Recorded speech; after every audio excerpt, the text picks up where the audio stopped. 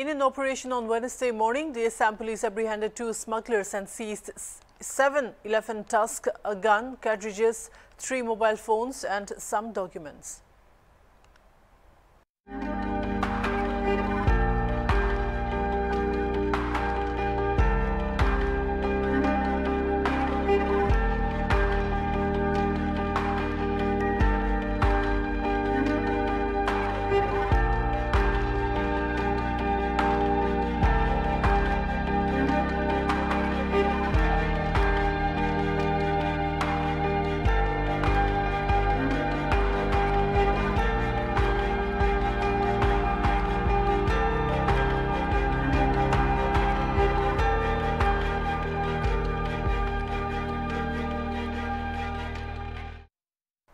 The arrested smugglers have been identified as Tagirina and Tatem Zoom, both hailing from Sili police station area in the East Siang district of Arunachal Pradesh.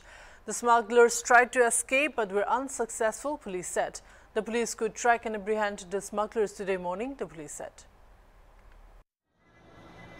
আমি যোৱাকালি এটা গোপন সূত্ৰৰ পৰা এটা অভিযান চলাই আছিলোঁ যে বৈ- চোৰাং বন্যপ্ৰাণী চোৰাং বেহা জোনাই অঞ্চলত চলি থকা বুলি আমি খবৰ পাইছোঁ। আমি এই অপাৰেশ্যনটো যোৱাকালি ৰাতিয়ে কৰিছিলোঁ কিন্তু আমি যোৱাকালি ৰাতি ছাকচেছ হ'ব নোৱাৰিলোঁ।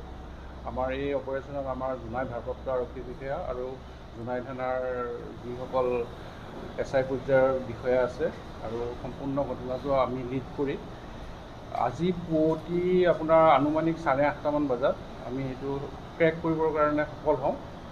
আমি সাতটাকৈ আমি হাতীৰ দাঁত পোৱা গৈছে আৰু লগতে এটা টুৱেলভ ব'ৰ ৰাইফল পোৱা গৈছে কিছু আপত্তিজনক নথি পত্ৰ পোৱা গৈছে That's all for now. Keep watching TV.